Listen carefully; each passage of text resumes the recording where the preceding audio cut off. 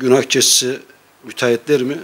Tabii art niyetli olan müteahhitler ama onun yanında devamını getirmek istersek müteahhitler başı başına bu yolu alıp gidemezler. Bunlara yol verenler vardır. Nedir bunlar? İlgili kurumlar, ilgili belediyeler.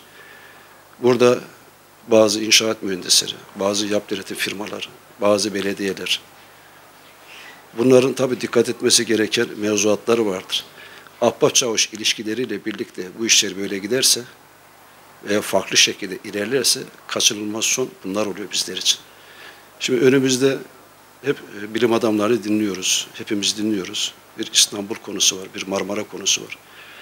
Hep Allah korusun diyoruz. Tabii ki Allah korusun. Fakat tedbirimizi biz almayı öğrenmiyoruz. Eğer bu projeler sağlıklı şekilde yapılmış olsaydı, hem zemin etüt raporları hem belediyenin vermiş olduğu ruhsatlarla alakalı, hem yapı denetim firmalarının onaylamış oldukları evraklarla beraber, bütün ilgililer, kurumlar, kimler varsa sorumlu olanlar, bunlar hepsi artık sağlıklı şekilde yapılan işlemlerin ne derece doğru, ne derece yanlış olmuş olduğunu analiz etmeleri gerekmektedir.